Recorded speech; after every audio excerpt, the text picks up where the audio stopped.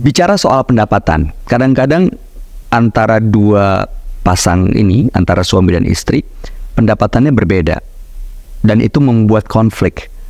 Terutama persepsi orang.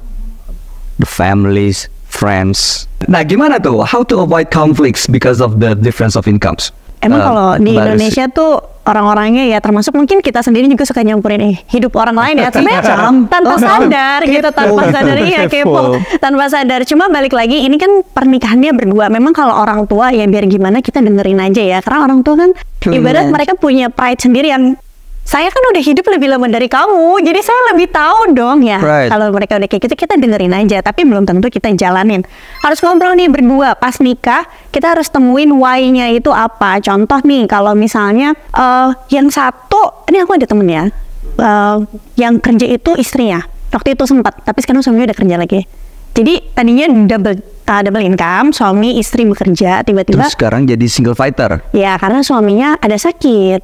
Oke. Uh, I think sakit mental atau apa dan istrinya nggak apa-apa. Mungkin orang lain akan ngeliatnya, ih ngapain kan walaupun misalnya sakit mental tetap punya fisik yang Hmm. kuat gitu kan. Tapi kalau mereka udah ngobrolin berdua dan mereka sepakat dan itu memang diputuskan untuk mencapai tujuan keuangan, kenapa tidak? Daripada jadi ribut tujuan keuangannya nggak tercapai, Oke. ya kan? Balik lagi, yang satu harus nurunin ego, cari tahu why-nya, terus harus satu visi dan satu misi gitu. Jadi Oke. yang penting kesepakatan berdua sih, karena kan yang paling tahu kita berdua ya, pasangan gitu. Terserah orang lain mau ngomong apa, selama kita jalaninnya uh, dengan nyaman, kenapa tidak ya?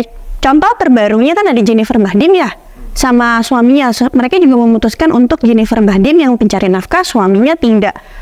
Kenapa kita harus pusing dengan hubungan orang lain kalau mereka berdua nyaman gitu menjalaninya? Iya.